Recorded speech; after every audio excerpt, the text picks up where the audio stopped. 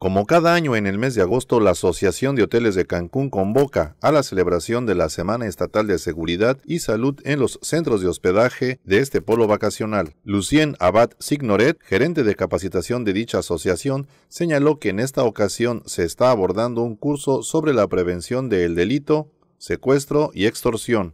Dentro de este programa nosotros tenemos, se hizo una, unas juntas a la cual se convocó por parte de la Secretaría la mayoría de las asociaciones o entidades. Por ejemplo, está la CRO, que está la CANIRA, que está el CT, que están muchas, muchas diferentes, somos creo que 35 diferentes este, organizaciones.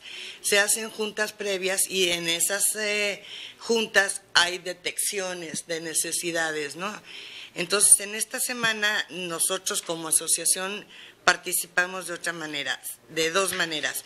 Una se le mandó a los hoteles esta programación y entonces todos los hoteles deben de elegir diversos cursos eh, que ellos puedan dar durante esta semana en estos dos temas, en seguridad y salud. Comentó que a esta capacitación asisten jefes de seguridad, gerentes y subgerentes de los hoteles, así como personal de recursos humanos. Detalló que a través de las asambleas de la asociación se detectaron dos temas muy socorridos por estos empleados. Estamos aportando dos, la de hoy del delito, la contra el delito y la extorsión, y mañana tenemos eh, con el IMSS riesgo de trabajo esto como curso abierto, ¿no? Independientemente de esto, todos los hoteles están en, este momento de lunes a viernes haciendo en sus hoteles diferentes cursos como apoyo.